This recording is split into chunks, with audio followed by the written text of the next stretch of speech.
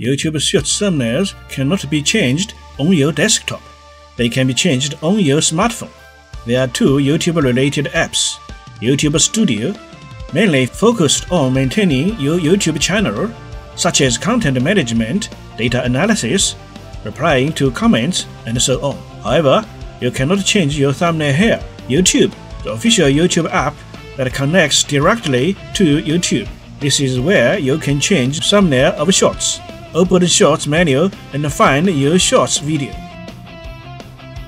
Click the three dot icon. You can see a submenu appear. Select Edit Pen icon. You will see a small pen icon on the thumbnail. This thumbnail is generated by YouTube when you upload the Shorts video, either randomly or based on what YouTube thinks is the best thing from your Shorts. Now you can change the thumbnail image which must also exist in your original Shorts video.